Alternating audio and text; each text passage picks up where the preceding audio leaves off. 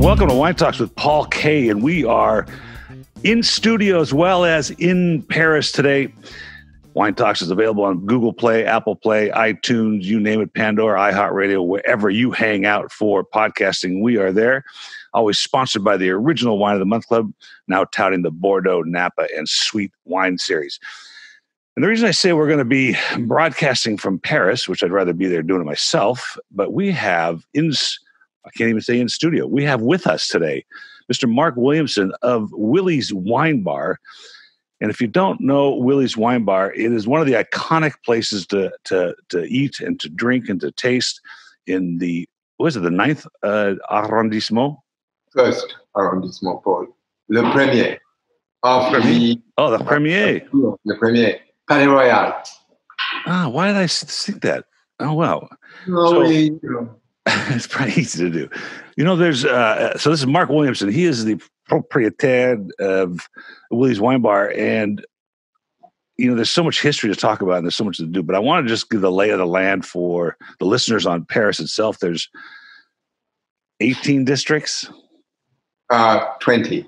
Oh, yeah. See, boy, it's 20, 20, 20 arrondissements, and they they work like a escargot um, start in the middle, which is where I am, and then they go round and round in eccentric circles, getting you know further and further out. Um, uh, so, and then um, small. So the first, the first uh, district uh, arrondissement is what are the historic things that people should know about that would set it apart from the rest? Because they all seem to have their own personality. Um, well, uh, the first arrondissement has got an awful lot of things in it. I'm starting with the Ile de la Cité um, and Châtelet. Um, but over this way, we've got the Opera, uh, we've got um, the Jardin du Palais Royal, we've got the Louvre, we've got the Tuileries, uh, we've got um, the, the, the, Conseil Constitutionnel, we've got the Bourse de Commerce. Um, the, the, it's, it's full of um, sort of uh, monuments um, that you know very important. There's the Place de Victoire, which is just down the road. Across the road here is, which is under, undergoing a what looks to be an eight-year transformation, is the National Library. Wow! Or as I call it, the Big Nut. Um, so. Uh, it's there. You can. It's very difficult to get away from um, um uh, landmarks. You've got the Place Vendôme, you know, where all the jewelers are. Um, there's there's an incredible amount of stuff right here. This is, I mean, it, the center of the world. And in the book that we've just written, there is actually a map that proves it. You know, that's interesting because uh, um, I'm I'm reading a book now, and I'll we'll talk about it in a second called the last uh, the hotel at Place Vendôme. It's about the war years and how the Ritz had participated in much of the occupation. Yeah. And so I was that's what maybe led me to this question as to the districts and how they were formed, and you know what the purpose of that was. Um, it, it, just seemed it, it's so functional. And my daughter worked in the 17th mm-hmm. district when she was working for Alain Ducasse, and uh, you know it, it, makes it gives the lay of the land of what's happening out there. So.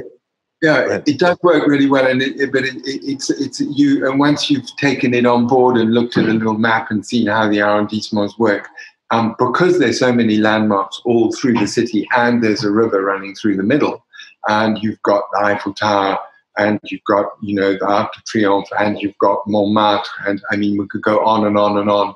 Um, Notre Dame, what's left of it. Um, you you you you very easily get your you know your your bearings.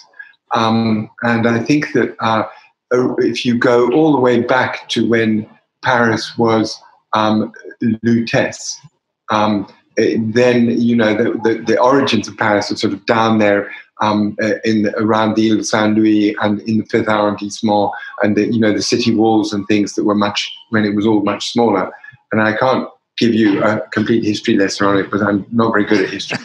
um, but, uh, but, basically, I mean, you, the, the, the, the, old, the very the, the historical part of Paris, um, you know, is is the central arrondissements um, that you know are the, the first, the second, the third, the fourth, fifth, the sixth, um, and etc. So this is interesting because uh, we'll, I think we'll talk about it now. It, it's going to be part. It was part of the conversation, like where you know how did you choose that space for for Willi's and et cetera, et cetera. But uh, now that I'm reading this book and I, I, consider myself sort of a Francophile, I've been studying French for like five years. My father speaks French, and so we, in fact, I was supposed to have a lesson this morning but I, I just couldn't get, I just couldn't get here in time. and she's actually in in Chartres. She's just outside of Paris there, uh, where this teacher yeah, resides. Really, really close, like sort of 40, 50 minutes on a train. Yeah, so she's a, she's a wonderful, um, but there's something romantic about Paris. Always, always has been. But when I'm reading this book uh, that I was talking about. It, it, it, starts with the Belle Epoque, and it talks about uh, you know the Picassos and the Dalis and that era and that generation of artists and yeah. and and uh, in Paris, and then it moves into the Hemingway eras, where there was just so much romance uh, to the city. It, you, is it feel that way now? I mean, does it still feel magical when you're there? I mean, we always feel magical. We're tourists. But I'm uh, wondering from the resident how it feels, the changes in in all honesty, Paris is is kind of sometimes looks like a bit of a mess. It's turned upside down. Um, there, there's always always work everywhere. Um, it's very difficult to get around sometimes, um, and uh, you you sometimes rub your head and sort of say, "What's the point of all this mess?" In yes. and, and and basically, the mayor, um, who's just been re-elected, um, which basically means that we will, when we get to the end of this, there will have been a, a, a, almost a 20 year period of the same ideas and the same people working on the city. So the, the, the infrastructure, the layout, and things are, being profoundly changed. And what um, she wants to do is get rid of cars in the center of town um, and uh, uh, have a, a, sort of community spaces and, and, and, and have Paris work for everybody, not just for the rich Parisians. Um, the, the, way of going about it seems to me sometimes to be extremely um, uh, out of touch with what you know Paris really needs to be a, a, a vibrant um, sort of and relevant city. Um, and you know, people at the moment, Paris is emptying, partly because of COVID, um, and partly because people people have kind of gone, um, you know, well, it's it's you know, they're, they're places where it's it's it's you know, we can go and live that, and not have to put up with all this nonsense. Um, so there there is. Uh, there is a, you know, um, uh, it's work in progress. Um, it'll all get better um, uh, very quickly because of the Olympic Games in three years' time, three, four years' time. Um, and they, you know, then they'll obviously have to pull everything together and, you know, make it so that um, people can come en masse and enjoy themselves and feel that they're, um, you know, doing the right thing, being in Paris at, at, a, at a sort of historical moment in time. She, she was elected, I think when we were there last, uh, She's this only is, been the mayor for a few years, right? Yeah, this is her second term. Which she has to deal with the Gilets jaunes and those group that group. No, that's that's that's the um, the Gilets jaunes. She yeah she has to deal with that for up, up to a point, but um it's uh, it, actually the Gilets jaunes is is, is um it's not aiming at Anne Hidalgo. They're they're they're, they're against Macron. They're against his politics. Right. Um, so that's a national movement. The Gilets jaunes is not just in Paris. Right. But they've kind of we're over the Gilets jaunes. I mean, that is maybe a good piece of news I can share with you. I mean, it's like the fires in California. I hope to goodness you've got, got them under control. The Gilets jaunes um, have kind of been and gone for the minute, and I'm sure something else will replace them because we love that kind of stuff here. But um, for the moment, au revoir, les Gilets jaunes. Well, it, they did make for good uh, French lesson study so at least it was a conversation that I could have and I could read about. and you know, actually, I, I, have to tell you that studying French for the last few years, I've learned much about the French history. So I was able to study about Napoleon and Josephina, and and uh, the Hemingway eras, and it's been really fascinating to uh, things I should have learned in school. Right, uh, things I should have yeah. studied in school, world history. Uh, in fact, I was I have the the author of um, the, the hotel in Place Vendôme coming on the show. And what I wanted to talk to her about briefly was the idea that if, if we're reading in the history books, we read these paragraphs or two or three of maybe the major events in the world in world history, like the occupation of Paris uh, and the liberation of Paris. But it doesn't really mean that much until you get into the nitty gritty and understand the details of it that you realize this was a, some serious, serious period. Uh, don't go there. I mean, it's, it really is. It's unending. There's and talking. You keep mentioning Hemingway. There's he's he's got um, a, a, a niece or a granddaughter who lives here, um, who's who's very active on Instagram. Um, she's called uh, um, uh, um, Pauline, or um, she's um, she calls herself Le Blonde Rouge. Le Blonde Rouge. Le, Le Blonde Rouge, oh, and she she is completely into Parisian history, history, and I mean, you would love it. You, uh, I'll send you the, the I'll, I'll, connect you to her on um, on Instagram. For because sure, I'm always I'd love to read that. Claudine, she's Claudine is her name. Claudine. She's Claudine Claudine Hemingway, and she does tours and things, and she's she's she's amazing phenomenal. So let's let's yeah. get to the real subject because Willi's. In fact, this morning I have to say I got up. And this is we're nine hours apart or eight hours apart. So my time was probably like six thirty in the morning, and I'm trying to order a copy of the Immovable Feast on Amazon, yes. and it's not available yet. And I'm thinking it's yeah. another great study for my French lessons. But uh, 1980, you opened in 1980. C'est, c'est ici immovable feast. Oh, there it is. So you have a copy. Yeah, yeah, yeah. we, have got it. Well, last last night we we had we had the um the book signing. Yes. We had a go.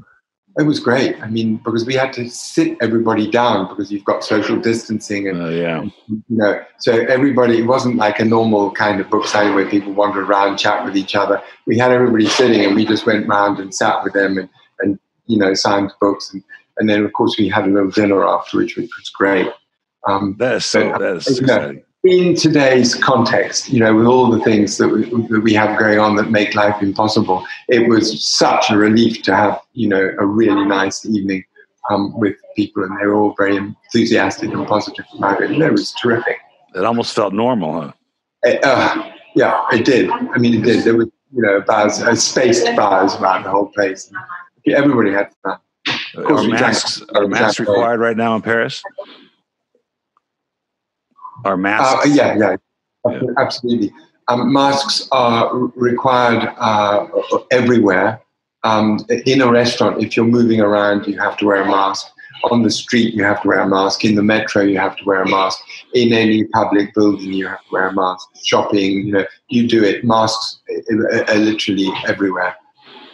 So let's go back to 1980. Uh, a young Mark Williamson, and, and I think I sent you year uh, last year, two years ago, uh, a copy of uh, um, a menu that, that, you had signed, and my father had brought back. So that was around '87, and I was thinking, gee, he's only he was wasn't open that long by the time we went there.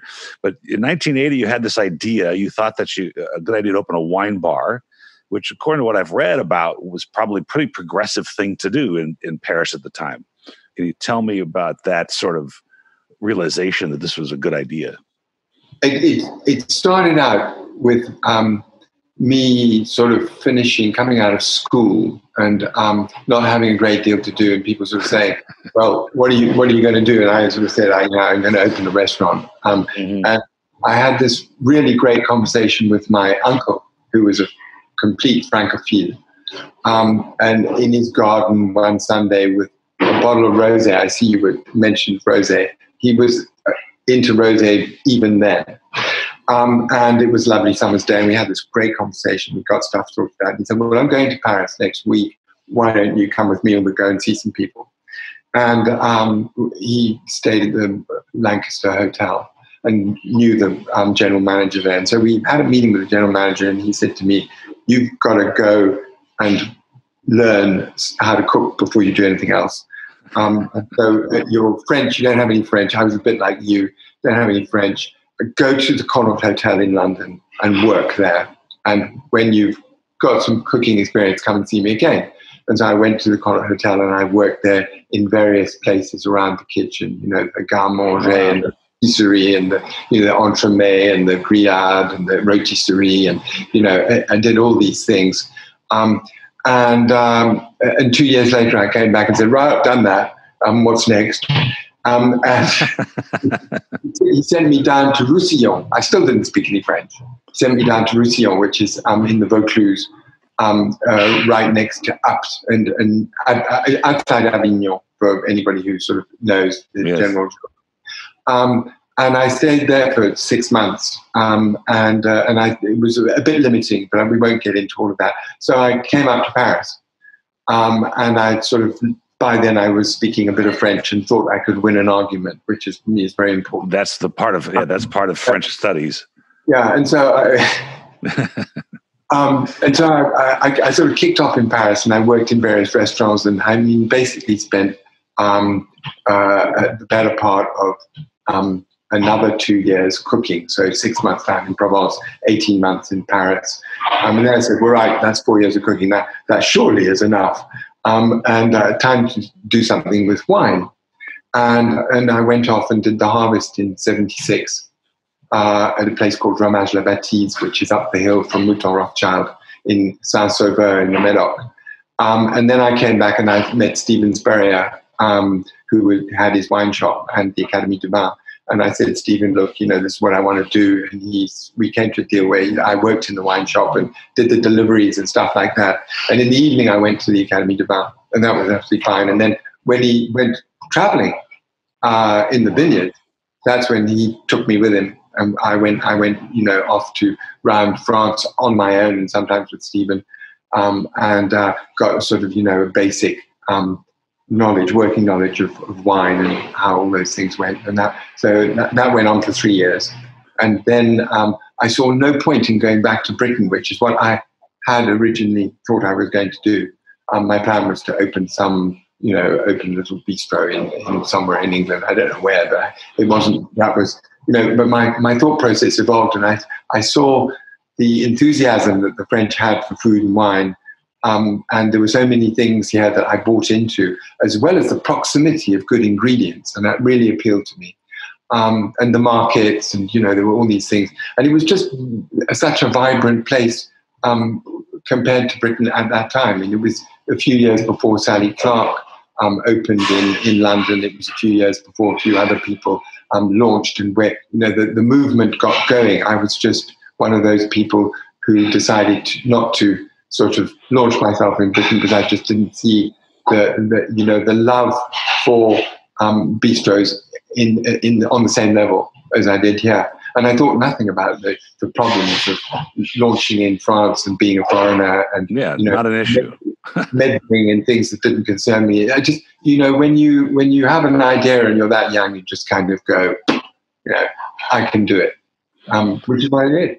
Well, it's interesting because uh, you know Steven's story. He'll self admit that he was sort of an aristocratic uh, Brit. Came to you know, I, I, always asked him. I said, "Do you feel like there's a risk to this idea of coming to Paris and opening?" So he's, "Nah, we you know we were we were supported by our family on both sides. We had no issues."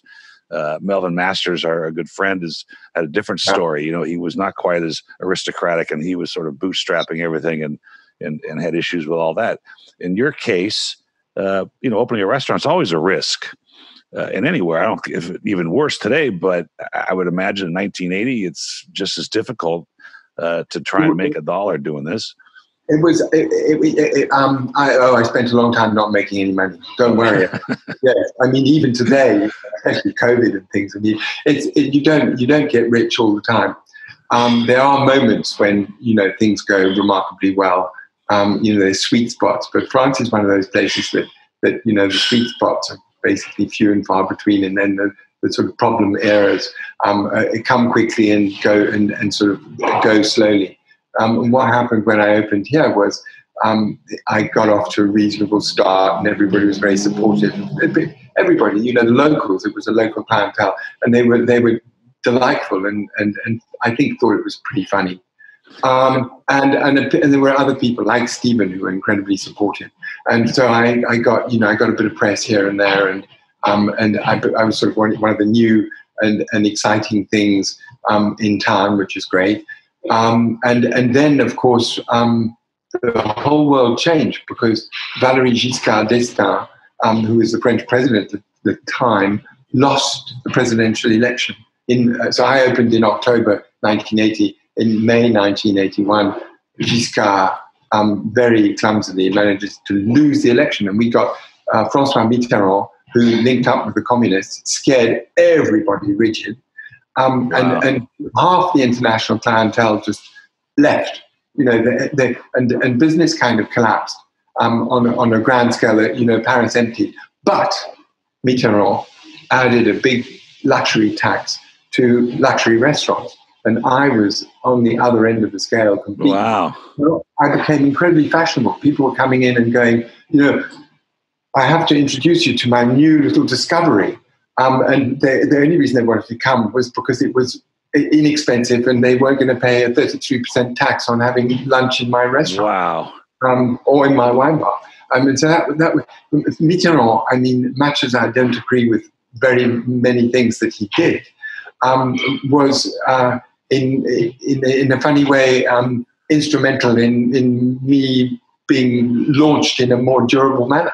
Well, that's amazing. That's amazing that politics, I wouldn't doubt that America is faced with sort of the same criteria right now that there could be a big change uh, in how business is done depending on the result of the election. I won't get into politics.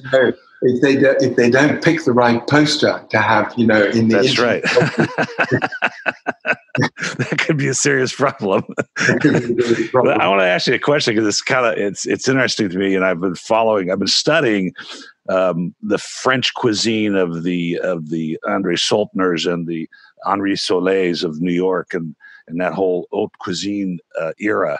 And uh, let's face it, I mean, not to be insulting, but you know, the Brits weren't necessarily known for their food at that time, probably.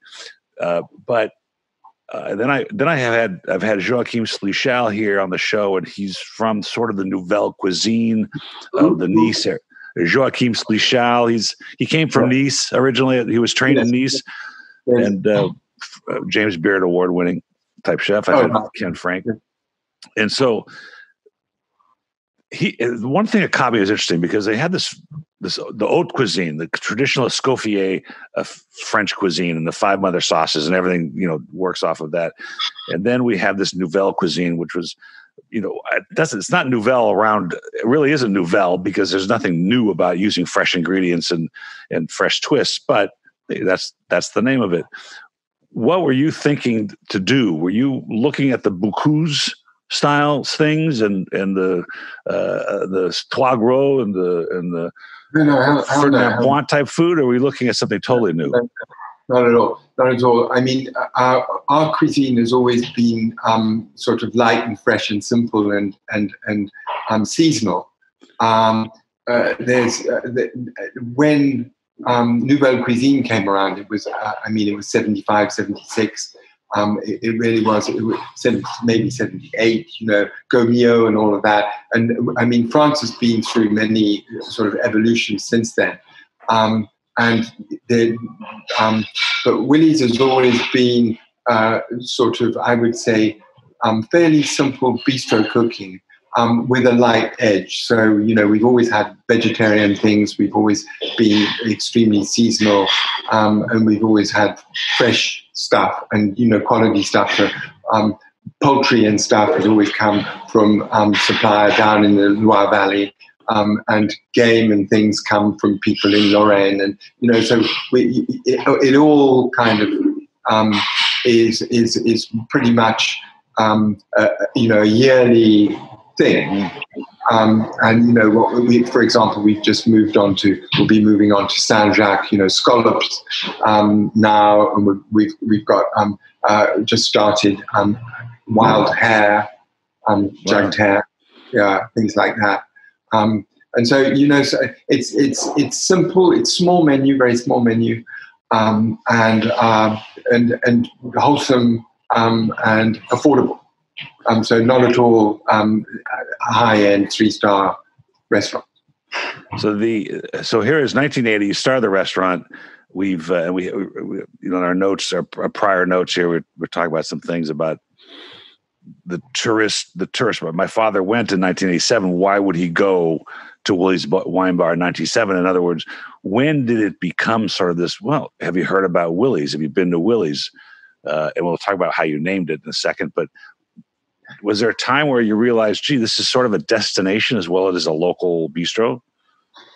Uh, that was a very slow process. Um, I, I, mean, there were there were little bits and pieces that appeared, um, uh, in you know tiny little things in in sort of newspapers like you know um, the International Herald Tribune and the New York Times and things like that. Little spots here and um, wonderful travel magazines and, and bits and pieces. But you know things that people would go, oh, when I'm next in town, you cut it out and put it in a little corner um, because that's how people did stuff in those days.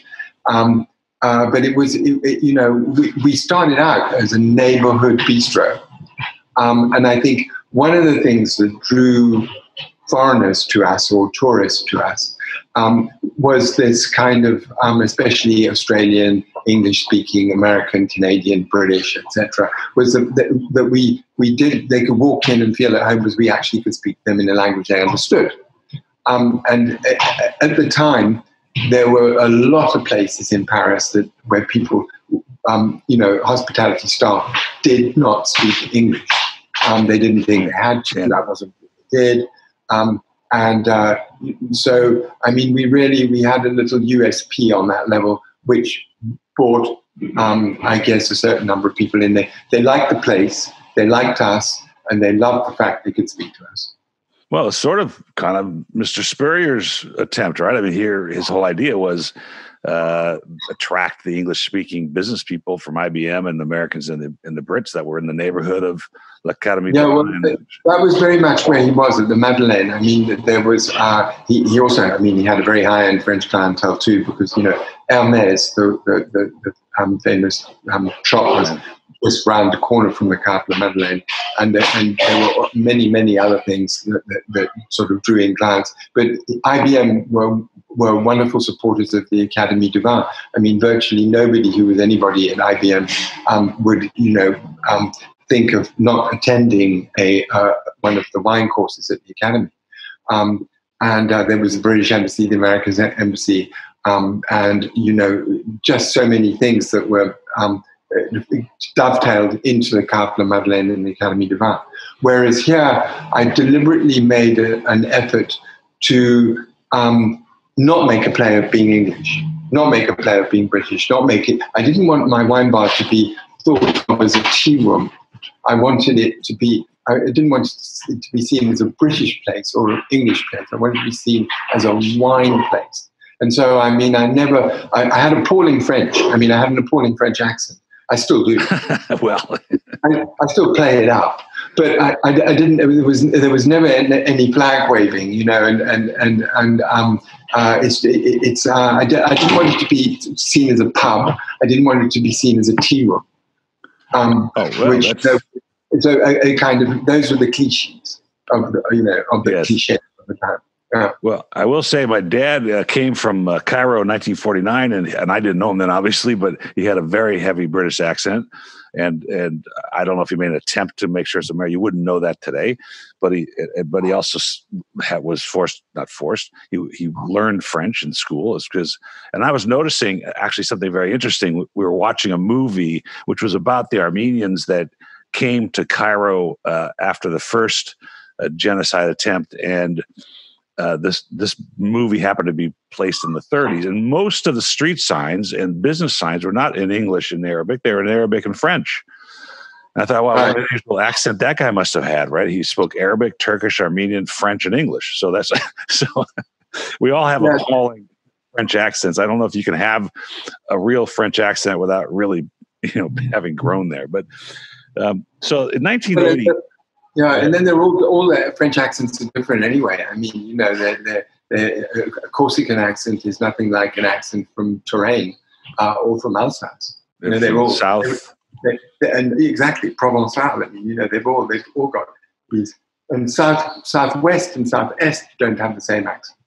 Okay, so wait, there's it reminds me of a conversation I had with uh, Guy Rivoire of Bollinger Boulanger, I guess. Um, and he was talking about the purest French accent was a, from the north.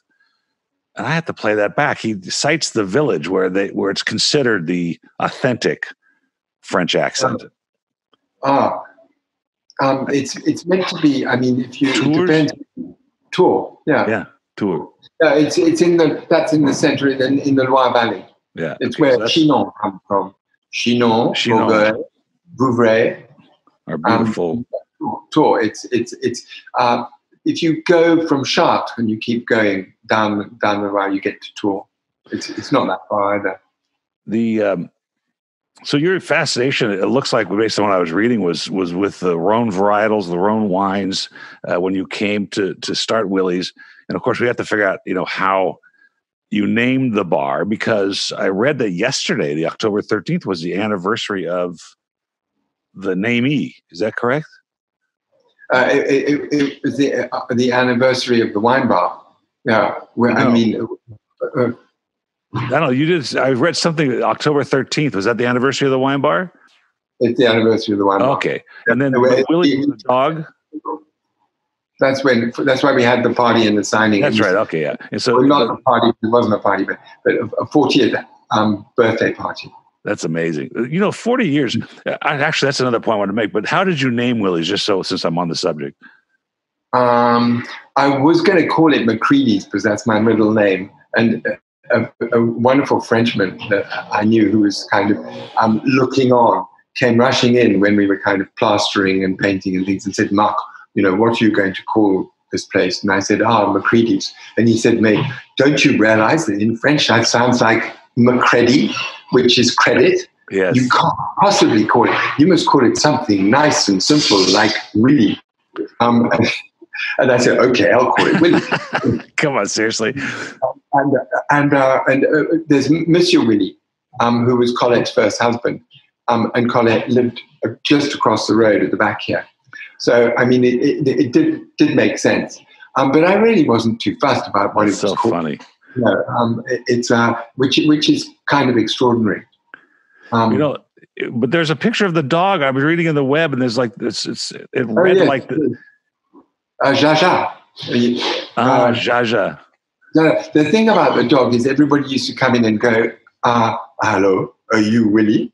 And Oh. I, would, I go, no, hi, I'm, I'm Mark. Who Yes. are you? How do you do? I'm very nice to meet you. That's and then funny. they go, you know, qui est And I go, oh, well, Willi's the dog. Um, and this went on for years and years and years and years and years. And eventually I turned to Arabella, who's the one who worked with me on the book. And I said to her, you know what? We need a dog. And she went, oh. And then we did various drawings of dogs. And we finally settled on uh, a dog that we thought was absolutely right. And that's the dog that you see here and there and everywhere. Aha. Okay, so now it's tied together. Yeah, It gives the exactly. impression. So I mean, it, it's it's really it's just it's it's a shaggy dog story, Yeah. So and there's plenty, is plenty of that in the book. This well, that's the next question is about the book because, well, first I want to get to this forty-year tenure because uh, my wife's cousin has a restaurant here in Pasadena. It's got thirty years, which is unheard of in California, really. Uh, The great uh, restaurants uh, in downtown LA and LA being really the hotbed of nouvelle cuisine in the 70s and 80s is being part of the movement in America for for for food. Um, but I have a book on my coffee table at home. I, I absconded it from my mother. Uh, she had that book. She also had a Scoffier's, a, a 1962 version of a Scoffier's cookbook, which I used. And but this book is called The Great Chefs of France. It was written about 75 or 78, and it talks about the Trois and the Bocuses and and and uh, Yeah, uh, for, The Ferdinand Chapelle. Bernard. yeah, the whole Yeah. thing. And if so, I took that book. I took the book, and when we went to France last, I think it was two years ago. I was going to do on this, you know, voyage gastronomique. Right, we're gonna we're gonna hit these places. And we're gonna experience these legendary restaurants, Willi's included, of course. And but what I found, which was fascinating to me, was that most of them were still open. Most of them still part of the Michelin Etoile system. Most of them still part of the family. Uh, you know, go to Rouen and you go to Troisgros and you can go to CR, PRC in Lyon and you go see the uh, Paul Bocuse at the time. And that doesn't happen here. I mean, very rarely. Uh, even the great French restaurants of New York uh, don't exist anymore. So to last 40 years, whether it's a bistro or a, fine dining restaurant is pretty phenomenal. How do you how do you reconcile I, that? I think, I think, there are places. I mean, I think that, that France is probably a little bit like the States, but things do tend to last probably more. Um, but you know, places like uh, in New York, Daniel Boulud, isn't he still there? Yep, Daniel yeah, he's still there. Yeah, I mean, he's been going for a while. That's um, true. And, and I mean, I, I'm, I'm sure Wolfgang Puck um, in in in uh, LA, he or isn't that? He's in still, LA. around. he's still around. That's true. Wolfgang's kicking it. I mean, you know, and showing everybody. And my friend Jonathan Waxman. I mean, admittedly, he, he's had restaurant after restaurant after restaurant, but um, Barbuto, which has moved, I think, um, uh, uh, that's still there. Um, you know, it may have morphed, but it's it's still there. In France, um, I think people people are less uh, driven by this kind of need to have the next great thing. They find somewhere that they like, and if they like it, they're going to they, they adopt it. And French people use their restaurants very much um, in, in, a European sense too, because I mean, you know, the Spanish, the Italians also do this. And they, I mean, Italy is the most amazing place for restaurants that you, think, I mean, what's this place doing here? And, it, and it's just cranking on. You know? And um, so Italy is a far sort of more poignant example of this. But in France, people treat restaurants, uh, particularly on a bistro level, um, very much as an extension of their own home. Um, so you, you, they dine out a lot, um, but in a very casual manner. Um, and you know, you will, you will see the same people coming year after year. You know, maybe once a week, maybe once a month. You know, maybe three times a year. But you know, they they they have an address that they like, and they keep they going. sort of yeah, keep going. Yeah, very and then well. if they have, they have a bad experience, you know, then maybe you know they won't go anymore. Yes, but, of course. Um, and and of course you you tend to renew your your your things. And France, Paris now has has a huge number of new restaurants. I mean, a huge number, and this and this COVID thing is only going to accelerate that. Really, um, for sure, for sure. But I mean, you know, I think you know we might be able to get another decade out of this without you know if we're lucky. You know, it's funny uh, when when Mel was in here, we were talking, and I was playing it back to see how it sounded, and just listening. And he mentions uh, the book "Chefs, Drugs, and Rock and Roll." And yes. Mel mentions I got to read it, and so I read the book, and it talks about Jonathan Waxman and that whole movement, right? And then yes. one of the chefs he talks about is Ken Frank, who is now up in Napa with La Toque. And so I had him, I had him on the show because I just wanted to hear what he had to say. It's a fascinating uh, fraternity, so to speak, of of it, well, let me put it this way: it's not really a fraternity. It's such a difficult business, and it, it requires camaraderie to survive. Yeah, I mean, there's some some of the American chefs are very much sort of um, not in each other's pockets, but um, very much, you know, um, in tune with each other, and and you know they share their experiences and and, and ideas and and difficulties in the past, staff backwards and forwards, um, etc. Um, and I think that's that's one of the really nice things about um, you know the, the, chefs that I know in the states. Um, they you know and they do well they do a lot of uh, uh, sort of charity work together. They're always raising money um, and, and that I think helps, you know, having these platforms where they all get together and they all do something together and it's not for them, it's for sort of community good.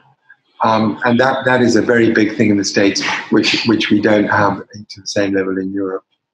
You know, my daughter uh, is, she, uh, she went to um, Alain Ducasse's pastry school outside of Lyon yeah. in, in Yssingeaux, yeah. and uh, she ended up baking in Paris for a little bit, and then she came to America, did some odd things, and landed in New York, working for chef Jonathan Benno, who was Thomas Keller's right hand man in many places, opened per se for him, and they had just uh, her name's on the menu, had baker, uh, just won their Michelin Etoile. Um, I think it was February, and then COVID hits And as we know, as we know, with in the world of food, particularly uh, Europe, you know, the Michelin star is such an important part of it. And it is in America, of course. Uh, it does wonders for your business. It, it, establishes credibility. And here, this poor gentleman, you know, just just earned it, and and probably won't reopen in New York because it's gonna, the cycle's so long there right now. How important yeah. are the accolades like that to were they to Willi's when you first started, and as the ongoing you know attempt in the to, to woo the food food critics of the world? Is this an important feature? Is Willi's just so solid that it's less important? I don't. I mean, I think it would be very foolish to say Willi's is so solid. Um, uh, it's um, uh, that's nowhere. Um, you know, we're all incredibly vulnerable especially, I mean, especially now. Um, but uh, and we've never really had any alkaloids. You know, there's nothing I, I can't put on one of those collars. Oh, you're the, moth. You're not a moth. um, and I, I mean, you know, I think the, the best we ever got was was what I what I wanted was you know those one of those um, uh, you know forks in the Michelin. Yeah, um, right. The bend, you know, you know for for good value, um, and. Uh, uh it's it's important when it when it's important is when you're starting out um, and you need to kind of get going um, and having um, the guides sort of saying, "Look at this, it's new, etc., etc." That is absolutely wonderful because it really does kick you off. And then after that, you you you have to kind of keep it going yourself.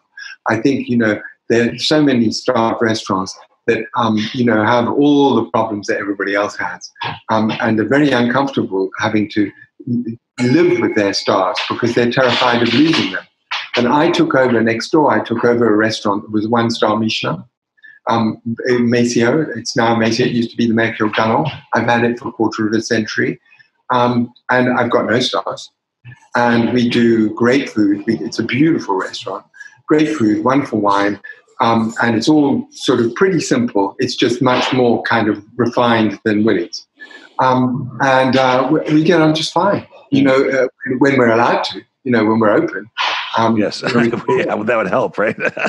um, and, and, and, you know, there's, there's, a, there's a very loyal clientele. And um, and and you know, but it, but it, it, you you you can't go to sleep on it. You have to. It's it's it's it's nothing nothing at all is is what the French would call "a acquis. You know, there's nothing there that you can keep. I see. It, it can be gone in a gone in a in a, in yeah, a blink right. of an eye. Yeah. Well, the restaurant business is like that anyway. I mean, uh, yeah. I was thinking it's funny. We were talking about the Michelin uh, Michelin guide, and I what's that? There's a funny French co- comedy uh, movie. Uh, it's not the Michelin, of course. They couldn't use that term, but it's about uh, the two two uh, two uh, ambassadors of that industry and they're chasing each other down. They're trying to get each other's business away. It's such a funny movie. I forgot the guy's name. I'll have to remember now. Um, but uh, when I tell people that the Michelin Guide had started out of, first of all, they always wonder if it's the same as the tire company, which it is, and that the idea behind it in 1929 or 1930 was that we wanted you to use your tires up. And so we want you to drive to places outside of Paris and use up your tires so you need more tires. yeah, yeah, yeah. And one of one of the you know one of the the star system things I can't remember which one. I mean, it was either three star or two star, but it was I think it's three star. Is Vaut le détour. This this this this place um, is worthy of you deviating from your route to get to. yes, you know, do an extra hundred or two hundred kilometers. Yeah. Um, yeah couple of sets of tires and you know we've got more business right how just for fun uh what was the I don't know. I guess it's scuttlebutt. What was the undercurrent, underlying current of of when Bocuse lost their three stars and were busted down to two stars? Was this a big deal in France? Um, I think he wasn't the only person who's been through that experience. I mean, it's happened to a number of chefs, um, and I'm not sure that it happened while he was alive. I no, think it was it, after. It was uh, yeah, right after. And, yeah they, I mean, they did the same thing to Fernand Point, um, uh, and and it's almost um, out of um, respect for Bocuse and for Fernand Point, and maybe for one or two other people, that they waited um, beyond the time, you know, this is beyond its sell by date, but we couldn't possibly, Yes. because this guy's done so much for, um, you know, for the métier, um, so much for all the people who work in, in hospitality, um, in kind of, you know, giving them something to aspire to. And, and he's been a great ambassador for, for France and for French cuisine and all. You can go on and on and on as to why it would be a very poor thing to kind of go, you know what, uh, you're just not up to it anymore. Yeah. Um, you could do that to, to somebody who's kind of a bit further down the, the, the you know, the, I think that um, was. I think that makes sense. It was a, just a form of respect uh, Yes. and weight. Uh, Yes. So let's get to the real important stuff. okay. Uh, the the I, I I cherish my 1987 Willi's Wine Bar poster. I told you the story of Yountville, Wait, I'm listening. I'm listening. And here's the perfect timing. I mean, of I'm course, here it's 9:37, and, and we all know that our palates are best between nine and 11. So probably Yeah, should well- do the same. Uh, mine's, been, mine's been waiting for a drink for Wow. far too long. Beautiful. So, uh, it And I need to seems that your your posters have become socially iconic. Was this something from the beginning um, that you started this idea, and then how do you arrive at the over? The themes are dramatically different through uh, through history. So, was there a 1980 poster? No, no. What what happened was I was it was one rainy weekend, like you know, a bit like this. Uh, I was in the cellar doing work, sort of building bins and kind of sorting stuff out right at the beginning. You know, it- it's just doing stuff. And this guy turned up, and his name was Alain Weill, and he was the director of the Musée de Publicité. Mhm. Um, and he, we started talking, and he started drinking Muscat de Beaumes-de-Venise. And um, I wanted to get back to the cellar, but he was, he was, you know, one of these people that liked sort of spending time at the bar. So it went. This conversation went on and on, and suddenly he said to me, "You know what? I've got a poster from Cassandre that's never been published um, at home, and if you want, we could use this for the wine bar." Um, and was it, this poster is, is a commercial image. It needs a vehicle, something that it can travel on. Yeah. Um, and and I, I said, great, bring it, bring it in, let's show it to me. We'll talk about it. Let's do this. And so we did it. It was a very simple, sort of kind of um, spontaneous, more or less spontaneous thing. That's a great idea. And out came the poster. And I looked at Anna and I said, this is fantastic. You know what? Um, of course, you know of Pirelli calendars.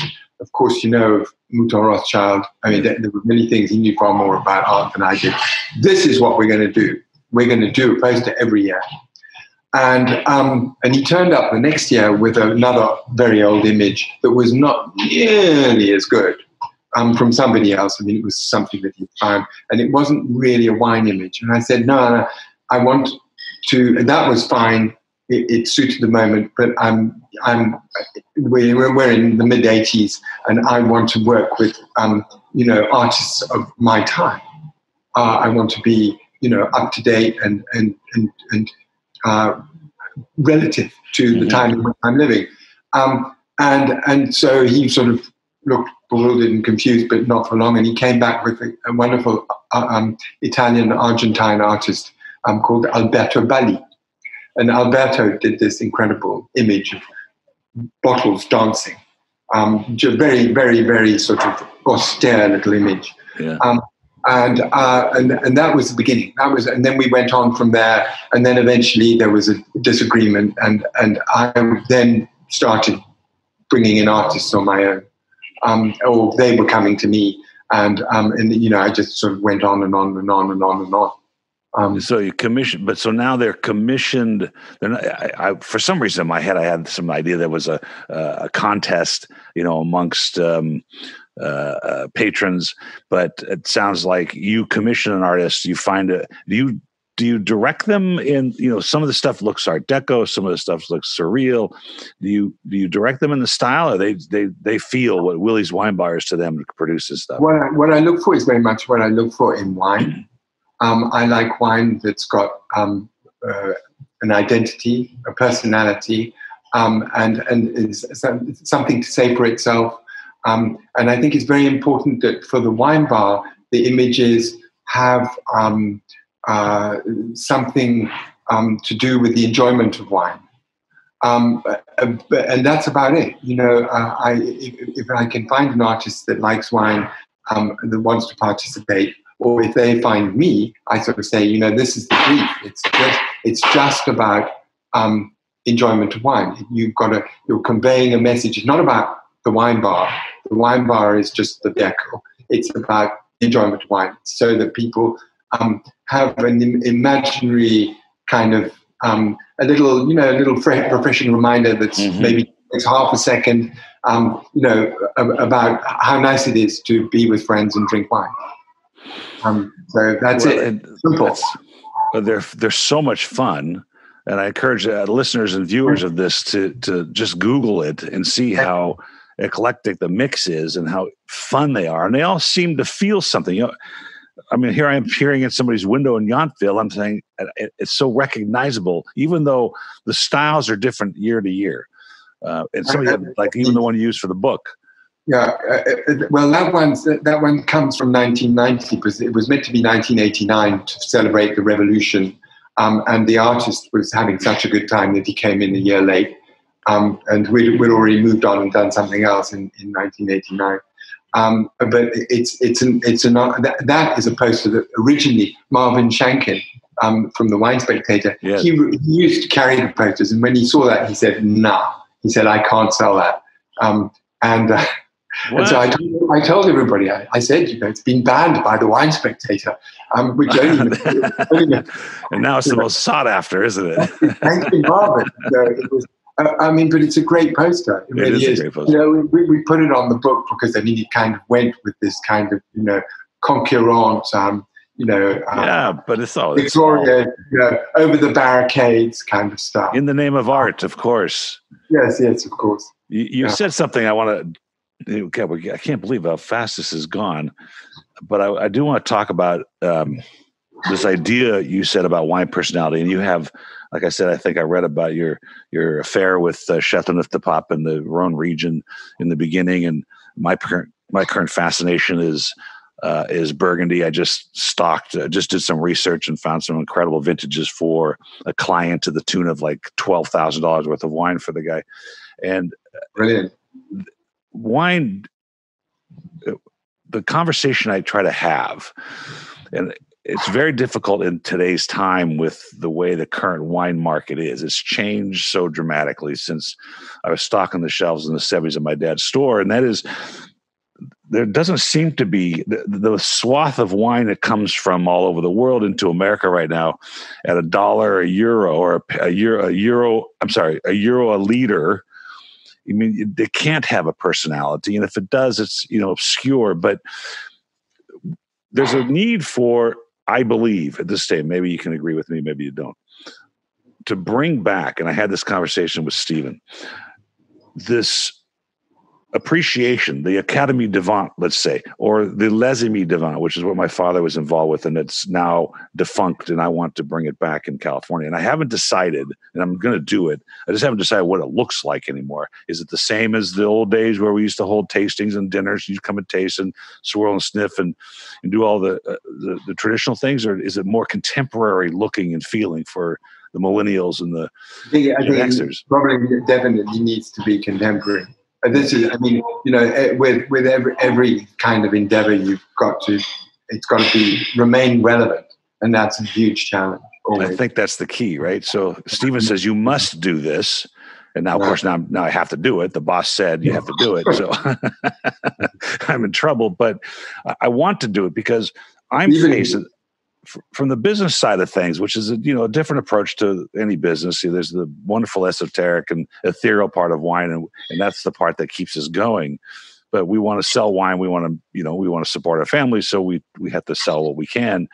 And the conversation um, well, I'm sorry, the consumer is being barraged, barraged, particularly with social networking, with these messaging. Like you can get a decent wine on Groupon for four bucks and three bucks and and fifteen bottles for forty five dollars. It just goes on and on and on, and they're getting this message every day, five times a day.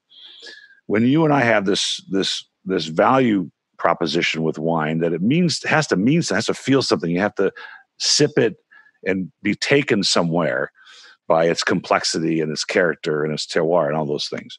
And so, uh, how is it that how is that changed, or has it changed from the premise of Willi's in 1980 to 2020, or let's go back to 2019 when we actually were open?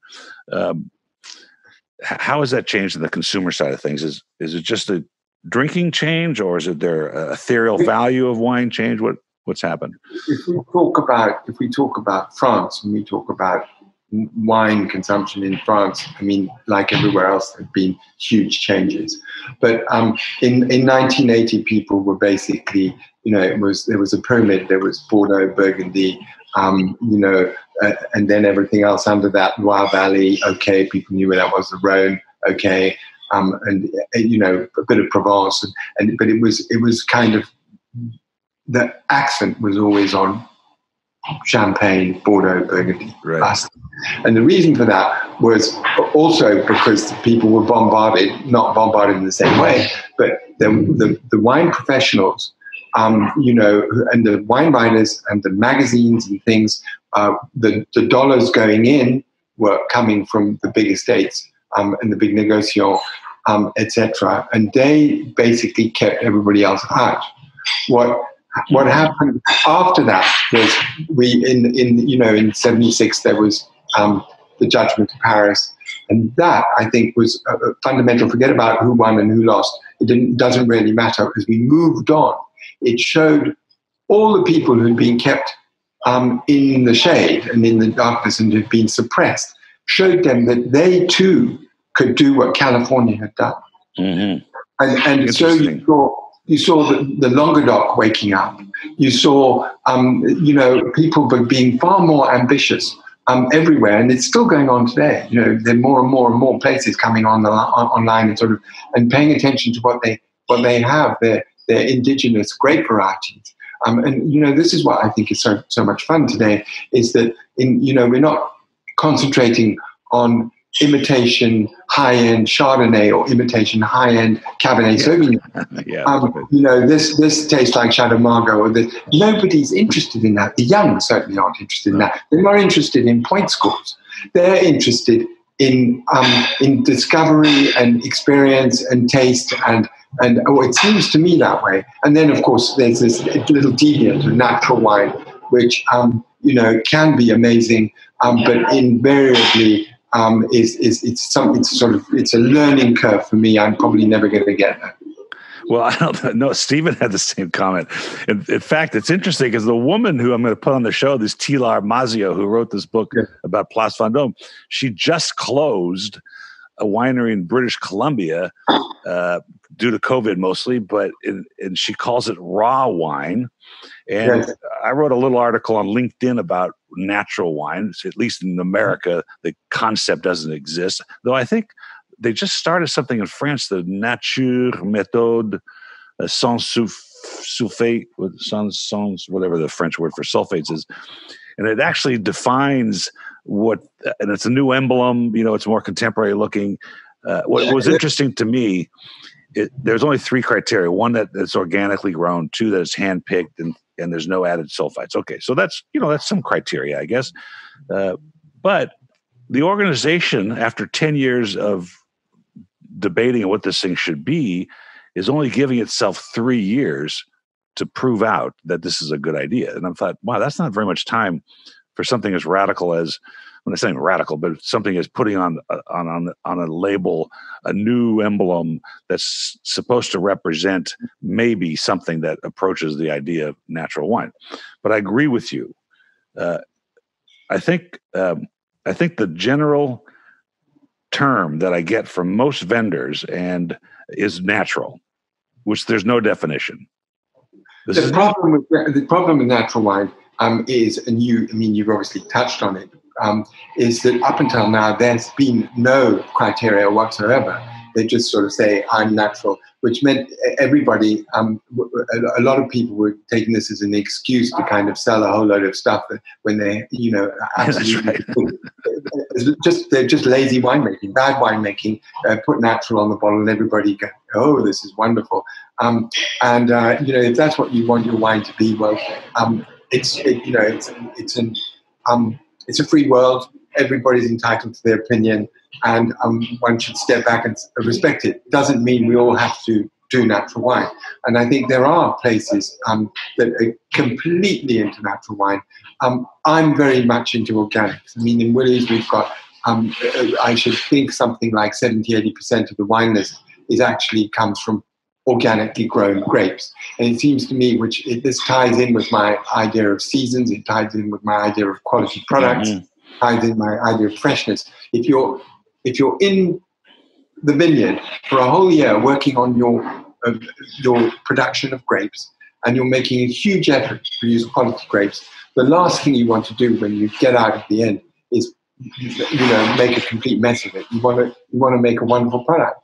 Um, and so the, the, it's far more important what happens in the, in the vineyard than what happens in, in the cellar. Because basically, the cellar is like you know the chef being given a wonderful fish, and um, if he's got one of the ingredients, basically he doesn't have to do a whole lot to, to them for it to be fabulous. Yes, um, winemaking can be fairly simple. Well, it's you're right. You're right on, and most of the comments I get, particularly from small farmers throughout Europe, throughout the world, is look, my kids are crawling around in that vineyard. I want it to be organic. I don't want pesticides all over their fingertips and put it in their mouth. So that part totally makes sense. And one of my favorite stories is early on in this orange wine uh, uh, phenomenon and natural wine. I was in Brooklyn, and my daughter said, well, "We have to go to this wine shop, Dad." You know, like well, when I was a kid, uh, and we traveled. My father, who was a pharmacist by trade, we went and looked at pharmacies and we took pictures of the signs. That's what we used to do. And so now that because I'm in the wine trade, my kids think I want to go to every wine shop that they've ever been in. So we go to we go to Brooklyn, and it's a natural wine shop, quote unquote. And she says, "Oh, yeah, let's try this Nero d'Avola from Sicily." I go, "Great!" I didn't even look at the price, and this is probably five years ago. And I grab it and I put it on the counter, and she rings it up at seventy five dollars. And I said, wow, I got to pay $75 for a bottle of wine. I'm used to paying much less than that at the office. But uh, we took it back to the hotel and it was undrinkable, unpalatable. It was, it had not turned. It had not had a, gone through anything looks environmentally that would have damaged it. It just wasn't well made. And like you said, I think it, it's almost laziness to a certain point. And I don't think that you need to have a new palate because something becomes a natural or biodynamic.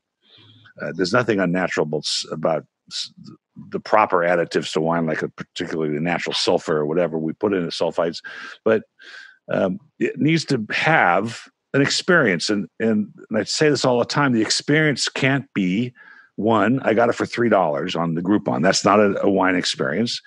People are not no, it, it, it, I, I think that if if the wine experience that Groupon is giving you is actually stopping people from drinking Coca Cola, then we, we're really onto something. And let's face it, I mean, you know, that's a good point. Only, people can only be bombarded by so much stuff at the same time. And a little bit of basic but good wine um, is a is a far better, far better thing to do to your body, in my view, than you know to can of Coke um, or Red Bull or anything. For sure, like that. um, that's a good, great point this this. So there, there, may be a space for all of this and people can always start off with things and then as their palates develop want to move on and discover other things. I mean you know i'm always for discovery and i much rather discover things that are that are affordable and that are fun that rather than kind of you know have yet another glass of the Chateau Margaux or something. You know? I think that's um, a really good point in that experienced wine drinkers are are, are going to know that we can't find something decent for three dollars, or if you do, it's very lucky, and that uh, the the new drinker, the new person coming to the wine side that wants to experiment, doesn't feel like they're risking you know three hundred dollars on a bottle of Burgundy to see if they like it. They can get something on Groupon and test it first. I think that's a really really valid point. It's sort of the white Zinfandel of the '70s, where we brought over Scotch drinkers and beer drinkers because they wanted yeah. to taste white Zinfandel because it was so inexpensive. That's so. That's very good point. When, one has to let, let, it let it be. I mean, it won't. I don't think it will snuff out quality wine, winemaking. People are making really good wine. Um, there's a following. Um, I, I honestly don't think they're going to disappear overnight. And and there's also, I mean, almost every single wine producing country seems to have um, an incredibly nationalistic approach to what's going on. So they all support um, their own wine growers, um, you know, in a, in, in a pretty serious manner. Everybody's New York's probably the, the kind of place where things are a bit more difficult for California, um, but uh, uh, it was, you know, when I the last time I was in New York, which goes back a little time.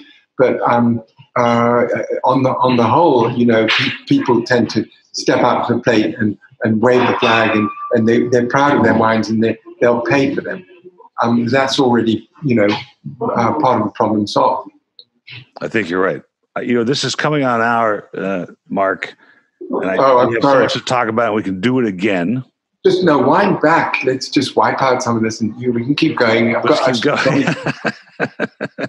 we will do it again. In fact, I want to do it on location at Willi's next time. Uh, yeah, pushing back on me about traveling, but I, I I've got to get out of here in the first quarter, the next quarter, and and come to France, put my French to test. If we do, we'll, we'll do a lunch with Claudine, la, la Bleu Blanc Rouge, or Bleu Oh, Blanc, that'd be great.